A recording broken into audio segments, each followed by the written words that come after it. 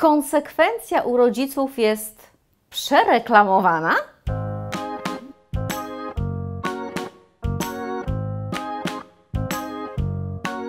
Wokół tematu konsekwencji narosło wiele nieporozumień.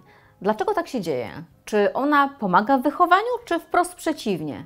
Ostatnio coraz częściej słyszę slogan, że konsekwencja jest przereklamowana. Czy tak naprawdę jest? A jeśli mowa konsekwencji, to co dokładnie mamy na myśli? I tu zaczyna się ciekawie, bo słowo konsekwencja może być rozumiane na kilka sposobów. Pierwsze z nich to naturalna konsekwencja jakiegoś działania. Drugie to kara, nazywana nowocześnie wyciągnięciem konsekwencji. Trzecie to żelazna dyscyplina. Twarde, sztywne reguły, arbitralne zasady ustalane odgórnie przez rodziców. A czwarte to pewna stałość, rytm, porządek dnia, stałe schematy działania. Jak się w tym odnaleźć? Czy na pewno dzieci nie muszą mieć żadnych zasad? Czy w wychowaniu można kierować się zachcianką, impulsem, własnym humorem? Czy to podejście jest dobre i dla kogo? Z czym naprawdę muszą się zmierzyć rodzice, którzy uważają, że konsekwencja wychowaniu jest przereklamowana? O tym już za moment. Oglądaj dalej, a zanim obejrzysz, kliknij w dzwoneczek, żeby otrzymywać powiadomienia o nowych odcinkach. W ten sposób nic Ci nie umknie. Jak się jeszcze nie znamy, pozwól mi na dwa słowa. Nazywam się Mariola Kurczyńska, jestem pedagogiem, terapeutą pedagogicznym i doradcą rodzicielskim z ponad 25-letnim doświadczeniem zawodowym. Lubię dzielić się z rodzicami moją wiedzą i doświadczeniem. To właśnie doświadczenie jest czymś, co rodzice najbardziej cenią w mojej pracy. Wiedzę łatwo zdobyć, lecz doświadczenie wymaga o wiele więcej czasu i energii. Wracamy do rzeczy. Zaczniemy od znaczenia numer jeden. Naturalna konsekwencja jest wtedy, kiedy ulubiony pluszak zostanie zabrany do wanny pomimo ostrzeżenia rodziców.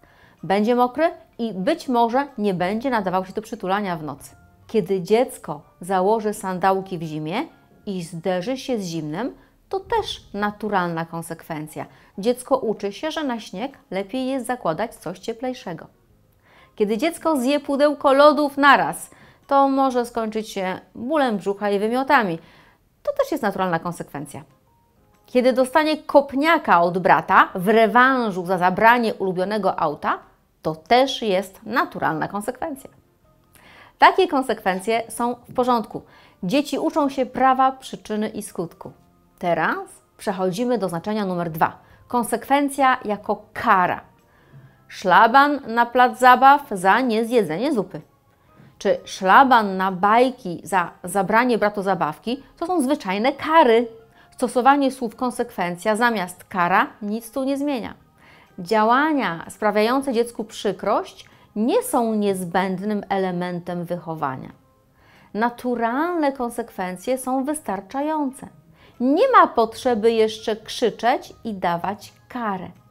I przechodzimy teraz do znaczenia numer 3. Konsekwencja jako surowa dyscyplina, wojskowy drill. Rodzice ustalają cały system zasad i reguł i nie ma od nich odstępstwa. Nigdy. A za złamanie zasady jest właśnie konsekwencja, czyli znowu sprowadza się do kary. Czy rodzic, który jest konsekwentny, musi być jednocześnie surowy? Czy jego zachowanie musi wywoływać u dziecka strach? Absolutnie nie. Mądra konsekwencja w wychowaniu wcale nie jest oparta na jakimkolwiek zastraszaniu i budowaniu atmosfery nieustannego stresu. I przechodzimy teraz do znaczenia numer 4. Konsekwencja to pewna stałość, rytm, porządek dnia, stałe schematy działania. Dzieci uwielbiają jasne zasady i porządek w głowie. Każde dziecko ma swój biologiczny rytm i uwielbia powtarzalność. Dzieci lubią, kiedy coś jest takie samo jak wczoraj. Daje im to poczucie bezpieczeństwa oraz poczucie kontroli nad sytuacją, poczucie wpływu na życie. Warto ustalić jasne zasady, na przykład przed obiadem myjemy ręce albo po wejściu do domu zdjąć trzeba buty, albo bajka jest po podwieczorku, albo na placu zabaw można się bujać i wspinać na wszystkim, ale nie wolno bez pytania wchodzić na tę wielką drabinę. Albo na przejściu dla pieszych nie wolno biegać i trzeba mamie dać rękę. To bardzo ważne zasady. Robią dzieciom w głowie taki porządek, jak uporządkowanie folderu na komputerze, przekładki i koszulki w segregatorze albo poukładane ubrania w szafie na półkach. Po prostu nie marnujesz energii na myślenie i szukanie. I tych zasad warto konsekwentnie przestrzegać. Jednak rodzice, słysząc slogan o przereklamowaniu konsekwencji, stawiają na totalny luz i spontan, na nieograniczoną swobodę. Ta zasada spontaniczności dotyczy zarówno dzieci, jak i rodziców.